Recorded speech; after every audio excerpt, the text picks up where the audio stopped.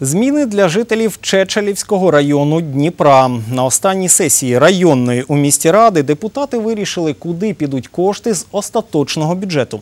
У розпорядженні Чечелівської райради залишилось близько 5 мільйонів гривень. Депутати одноголосно вирішили витратити ці гроші на блоковий ремонт внутриквартальних доріг. Питання обговорювалось майже два місяці, однак, врешті-решт, політики знайшли спільну мову. Ці кошти будуть е, витрачені блоково. Це, наприклад, буде зроблено частково робочий блок.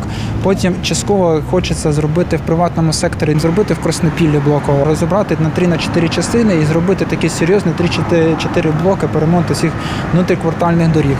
Чому було питання? Тому що не було порозуміння між головою і депутатським корпусом. Е, Вважалося, що е, депутати тут знаходяться статисти, але я дуже радий, що з е, нове нове скликання, нове обрання депутатів показали, що вони вміють працювати.